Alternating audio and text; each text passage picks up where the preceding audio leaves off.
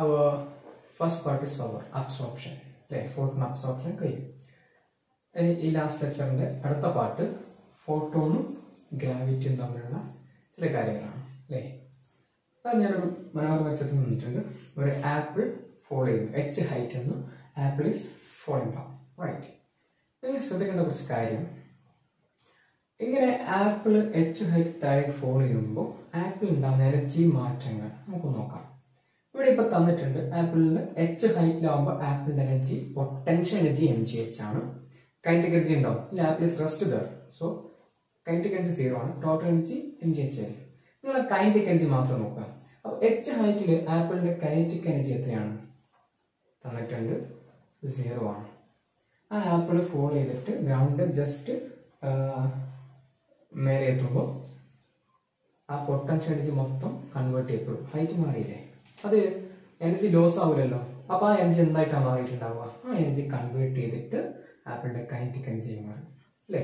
അപ്പൊ potential energy convert ചെയ്ത് കുറഞ്ഞു പോയി. ആ കുറഞ്ഞ പൊട്ടൻഷ്യൽ എനർജി എന്തായിട്ട് മാറി? അതിന് കൈനറ്റിക് എനർജി മാറി. അതുകൊണ്ട് നേരത്തെ സീറോ ആയിരുന്ന കൈനറ്റിക് എനർജി താഴെ എത്തുമ്പോൾ എന്തായി മാറി? എൻ ജി എച്ച് ആയി മാറി. അല്ലേ? ഒരു ആപ്പിളിന് ആപ്പിൾ ഒരു ഒബ്ജക്റ്റ് ആണ്. അതുപോലെ ലൈറ്റ് ഡ്യൂൽ നാച്ചർ ഉണ്ടല്ലോ. വേവ് പ്രോപ്പർട്ടിയും പാർട്ടിക്കിൾ പ്രോപ്പർട്ടിയും ഉണ്ട്. അപ്പൊ ലൈറ്റിനെ ആയിട്ട് കാണുവാണെങ്കിൽ ഇതുപോലെ ആർക്ക് സംഭവിക്കാം? നമ്മുടെ ലൈറ്റിന് സംഭവിക്കാം അല്ലെ? ലൈറ്റിന്റെ പാർട്ടിക്കിളിന്റെ എന്താ ഫോട്ടോൺ ഞാൻ അതുകൊണ്ടാണ് ആപ്പിളിന്റെ നേരെ അപ്പുറത്ത് ഫോട്ടോണ് വെച്ചിട്ടുണ്ട് അല്ലെ? ഫോട്ടോണും എച്ച് ഹൈറ്റിന് താഴേക്ക് വീഴുവാണ്. ഓക്കെ ഇവിടെ ശ്രദ്ധിക്കേണ്ട കാര്യമുണ്ട്.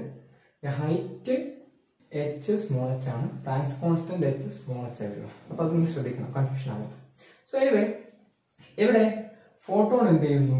എച്ച് ഹൈറ്റിൽ നിന്ന് ഗ്രൗണ്ടിലേക്ക് ഭൂമിയിലേക്ക് എർത്തിലേക്ക് ഫോൺ ചെയ്യുന്നു. റൈറ്റ് അങ്ങനെ ഫോൾ ചെയ്യുമ്പോൾ നമ്മുടെ ആപ്പിളിന്റെ കൈനറ്റിക് എനർജി സീറോ ഒന്ന് എൻ ജി എച്ച് ആയി മാറി. എന്തുകൊണ്ട്? പൊട്ടൻഷ്യൽ എനർജി കുറഞ്ഞു പോയി. ആ കുറയുന്ന പൊട്ടൻഷ്യൽ എനർജി കൈനറ്റിക് എനർജി മാറി. അതുപോലെ എച്ച് ന്യൂ എനർജി ഉള്ള ഫോട്ടോൺ ആണ് ഫോളോ ചെയ്യുന്നത്. അല്ലേ? അപ്പൊ ഫോൾ ചെയ്ത് താഴെ എത്തുമ്പോൾ അതിന്റെ പൊട്ടൻഷ്യൽ എനർജി കുറയും. ആ കുറയുന്ന പൊട്ടൻഷ്യൽ എനർജി എവിടെ ഏഡ് ചെയ്യപ്പെടണം അതിന്റെ ഇലക്ട്രോമാറ്റിക് എനർജി ആയ എച്ച് ന്യൂവിന്റെ കൂടെ ഏഡ് ചെയ്യപ്പെടണം വേണ്ടേ അങ്ങനെ എച്ച് യുവിന്റെ കൂടെ ഏഡ് ചെയ്യപ്പെട്ടു റൈറ്റ് അപ്പൊ എത്രയാവും? എത്രയാവും? എത്രയാവും? Yes H plus N G H അപ്പോൾ നേരത്തെ ഫോട്ടോൺ എനർജി എച്ച് ന്യൂ ആണ്. കുഴപ്പമില്ലല്ലോ. അത് ഹൈറ്റിൽ നിന്ന് എച്ച് ഹൈറ്റിൽ നിന്ന് താഴെ എത്തി ഗ്രൗണ്ട് ജസ്റ്റ് മേലെത്തി അപ്പൊ അതിനെന്ത് കുറയും? ആപ്പിളിന്റെ പൊട്ടൻഷ്യൽ എനർജി പറഞ്ഞ പോലെ ഫോട്ടോണിന്റെ പാർട്ടിക്കിൾ ആയിട്ട് കാണുവാണെങ്കിൽ അതിന്റെ പൊട്ടൻഷ്യൽ എനർജി റെഡ്യൂസ് ചെയ്യപ്പെടും. ആ റെഡ്യൂസ് ചെയ്യപ്പെട്ട പൊട്ടൻഷ്യൽ എനർജി എന്തായിട്ടാണ് മാറുക? ഇവിടെ ആപ്പിളിന്റെ കൈനറ്റിക് എനർജിയിലാണ് റിഫ്ലക്ട് ചെയ്തത് അവിടെ ആരെല്ലാം ആ കുറഞ്ഞ പൊട്ടൻഷ്യൽ എനർജി ഏഡ് ചെയ്യപ്പെടുക യെസ് ഫോട്ടോണിന്റെ ഇലക്ട്രോമാഗ്നറ്റിക് എനർജിയിൽ അത് ഇൻക്രീസ് വരുത്തും. അപ്പൊ എച്ച് ന്യൂ ആണ് എനർജി എങ്കിൽ താഴെ എത്തുമ്പോൾ എച്ച് ന്യൂയുടെ കൂടെ കുറഞ്ഞ potential energy M G H അല്ലെ അപ്പൊ H nu plus M G H ആയിരിക്കും താഴത്തെ ഫോട്ടോൺ എനർജി അത് നമുക്ക് ഞാൻ പറയട്ടെ? ഇപ്പോ താഴത്തെ ഫോട്ടോണിന്റെ എനർജി കാണാൻ എച്ച് ന്യൂവിന്റെ കൂടെ എൻ ജി എച്ച് ആഡ് മതി. H nu plus N G H ആണ്. അപ്പോൾ അത് ഇലക്ട്രോമാഗ്നറ്റിക് എനർജിയല്ലേ കൂട്ടുന്നത് എന്ന് പറഞ്ഞാൽ താഴത്തെ ഫോട്ടോണിന്റെ എനർജി താഴത്തെ ഫോട്ടോണിന്റെ ഫ്രീക്വൻസി എന്തായിട്ടുണ്ടാവും? കൂടിയിട്ടുണ്ടാവും. മേലെ ന്യൂ ആണെങ്കിൽ താഴെ എത്തുമ്പോഴേക്കും ഫ്രീക്വൻസി കൂടും. എത്രയാവും? ന്യൂ ഡാഷ് ആവും. എച്ച് ന്യൂ ഡാഷ് ആവും. അല്ലേ? അപ്പോ മുകളിലേക്ക് എച്ച് ന്യൂ ഉണ്ടായിരുന്ന ഫോട്ടോൺ താഴെ വരുന്നതോറും ആ എച്ച് ന്യൂ എനർജി കൂടി കൂടി വന്ന് എത്രയായി? എച്ച് ന്യൂ ഡാഷ് ആയി. എച്ച് ന്യൂ ഡാഷ് എന്ന് പറഞ്ഞാൽ എത്രയൊക്കെ ഈക്വൽ ആയിരിക്കും? നേരത്തെ എച്ചിനൂടെ കൂടെ കുറഞ്ഞ potential energy N G H add ചെയ്തതിന് ഈക്വൽ ആയിരിക്കും. സോ എച്ച് ന്യൂ ഡാഷ് താഴത്തെ photon energy H nu dash equal to നേരത്തെ photon energy H nu plus എത്രയാണോ പൊട്ടൻഷ്യൽ എനർജി കുറഞ്ഞത് അത് എച്ച് ന്യൂടെ കൂടെ ഏഡ് ചെയ്തിട്ടുണ്ടോ എം ജി എച്ച് അപ്പൊ H nu dash equal to H nu plus M G H ഒരു കാര്യം പ്രത്യേകം ഓർമ്മിക്കുകയാണ്. ന്യൂവിനേക്കാൾ വലുതാണ് ന്യൂ ഡാഷ് എന്തുകൊണ്ടാ? മേലെ താഴെ വരുമ്പോൾ എച്ച് ന്യൂ എന്താവുക ചെയ്യുന്നത് കൂടുക ചെയ്യുന്നത് അപ്പൊ ഫ്രീക്വൻസി എന്താണ്? ന്യൂ ഡാഷ് ലാർജ് ആയിരിക്കണം അല്ലേ? അപ്പൊ എച്ച് ന്യൂ ഡാഷിലെ ന്യൂ ഡാഷ് ന്യൂവിനേക്കാൾ വലുതാണ്. അത് ക്ലിയർ അല്ലേ?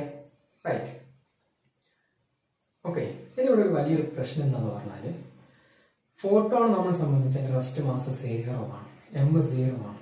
അങ്ങനെയാകുമ്പോൾ H nu dash equal to H nu plus M zero ആണെങ്കിൽ അത് സീറോ ആയി. എം ജി എച്ചിൽ എമ്മിന് സീറോ ആയിട്ട് സീറോ ആയി അല്ലേ? പക്ഷെ അങ്ങനെയല്ല. ഫോട്ടോയുടെ മൊമെന്റ് ഇല്ലേ നമ്മൾ കോംപ്റ്റൺ എഫക്ട് പഠിച്ചപ്പോൾ ഫോട്ടോന്റെ ആണ്.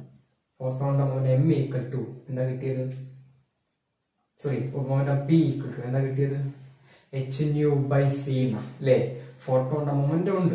അപ്പൊ moment mass first mass zero ആയ പാർട്ടിക്കിൾ ആണ് ഫോട്ടോൺ എങ്കിലും ഫോട്ടോണിന് മൊമെന്റം ഉണ്ട്. ഓക്കെ അതുകൊണ്ട് ഫോട്ടോൺ ഇനേഴ്ഷ്യൽ മാസ് നമുക്ക് കാൽക്കുലേറ്റ് ചെയ്യാം. എങ്ങനെ കാൽക്കുലേറ്റ് ചെയ്യാം? മാസ് എങ്ങനെയാണ് കാണുക? മൊമെന്റം സമം മാസ് ഇന്റു വെലോസിറ്റി അപ്പോൾ മാസ് സമം മൊമെന്റം ബൈ വെലോസിറ്റി ചെയ്താൽ മതി. പോരെ? അതെങ്ങനെ കിട്ടുക? മൊമെന്റം ഫോട്ടോണിന്റെ നമുക്കറിയാം. എച്ച് ന്യൂ ബൈ സി ആണ്. ഫോട്ടോണിന്റെ വെലോസിറ്റി എത്രയാ? സി ആണ്. അപ്പോൾ H nu by C by C വരും. അപ്പോൾ എന്താ വരിക? Mass of photon equal to H U by C square ഇത് ഇനേഷ്യൽ മാസ് ആണ്. പക്ഷേ according to our principle of equivalence അത് റിലേറ്റിവിറ്റിയിലുള്ള കാര്യമാണ്. നമുക്ക് എന്ത് ചെയ്യാം ഇതേ മാസ് തന്നെ നമുക്ക് ഗ്രാവിറ്റേഷൻ മാസ് ആയിട്ട് എടുക്കാം. അങ്ങനെയാണെങ്കിൽ നേരത്തെ തന്നിട്ടുള്ള ഫോട്ടോൺ എനർജിക്കൽ എക്സ്പ്രഷൻ എന്തായിരുന്നു H nu dash equal to ഓർമ്മിച്ച് വെക്കുകയാണ് H nu plus M G H ആ ഏരിയ വെച്ച് കാണുന്നില്ലേ? അവിടെ എമ്മിന് സീറോ അല്ല കൊടുക്കേണ്ടത്. എത്ര കൊടുക്കാം നമുക്ക്? H nu by C square കൊടുക്കാം. ഓക്കെ അത് കൊടുത്തു കഴിഞ്ഞാൽ എന്താവും എക്സ്പ്രഷൻ എന്താവും?